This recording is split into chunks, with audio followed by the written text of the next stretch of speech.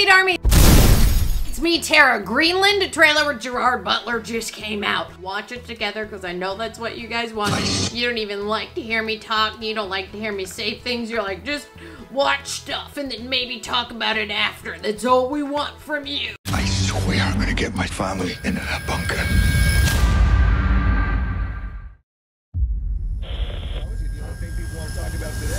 Is this Clark, this I know, uh, interstellar gonna comet. right? I mean, it's- yeah, it's- big news.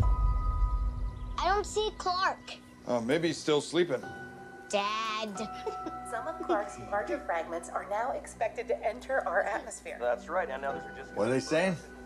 More of the I same. bet you it's gonna make a heck of a show. Whoa.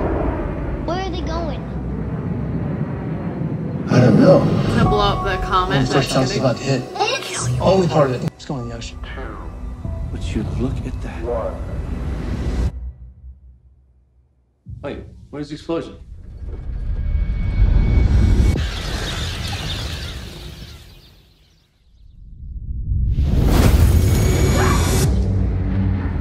We now are getting word that the fragment has hit Central Florida. Oh my God. Wait, are some more pieces gonna hit?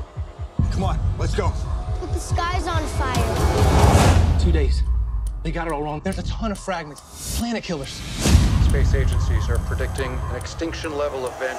We're gonna be together, all right, kiddo? We're just trying to get to safety. They've been tracking the military flights to bunkers in Greenland. It's our only chance. Perimeter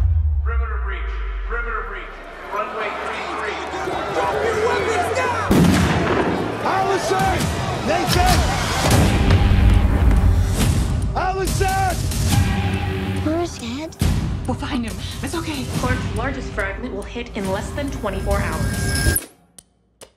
I swear I'm gonna get my family into that bunker. I know you will, son. If you are hearing this broadcast, seek shelter immediately. What is it? What's going on? If you are hearing this broadcast, seek oh, shelter John, go! Nathan! Seek shelter immediately. Seek shelter immediately.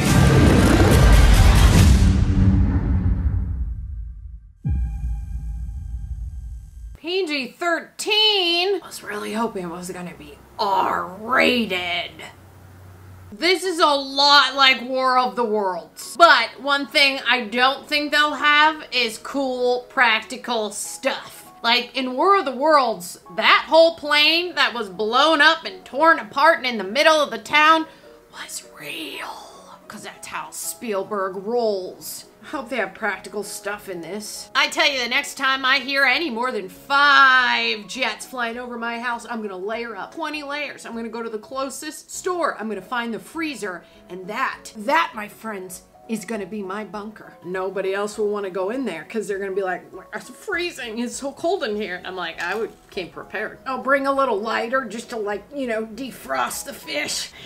It'll take a while, but I mean, at least I'll be eating, you know. Might get used to just eating raw, raw stuff, you know, cold stuff. Talking about it now, though, makes my teeth hurt, but you know what? Hey, I'm alive in the freezer and everybody else is. Who knows? When a lot of birds are released into the air and they all start flying the same way, it's normally it's bad news. It's ominous. It's not so good. But people are like, "Get me a bunch of birds. Let's release them at our wedding." I'm kind of like, no, maybe that should stop. No birds. You know, don't no birds at all.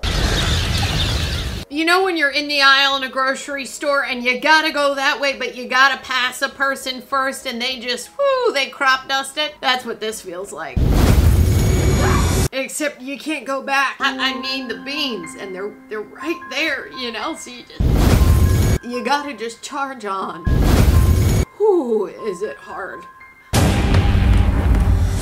My family in that bunker. I know you will, son.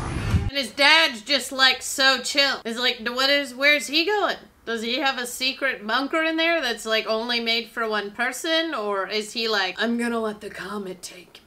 You either die running or you just succumb to the comet, right? Okay, so it looks like they kind of escape with their truck. And then uh, there's a scene where it looks like they went into a little tiny plane, tried to fly away. I would be like, hey, real quick, I'm not gonna go on a plane because the stuff that's happening is in the air. Comets, they come from up there and you want to take me up there, closer to them. Is that what you, that's what you're saying, right? Yeah, no, I'm out. I don't know why I married you and you're suggesting we take a plane.